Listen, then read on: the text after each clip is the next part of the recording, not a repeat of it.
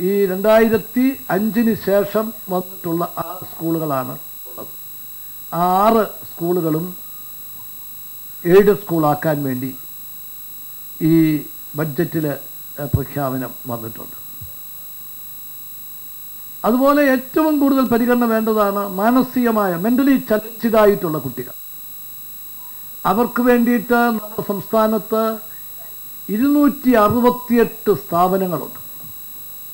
ഈ ഇരുന്നൂറ്റി അറുപത്തിയേഴ് സ്ഥാപനങ്ങളിലും ഉള്ള പതിനേഴായിരത്തി പരം കുട്ടികൾക്ക് ഒരു കുട്ടിക്ക് ഒരു വർഷം രണ്ടായിരം രൂപ വെച്ച്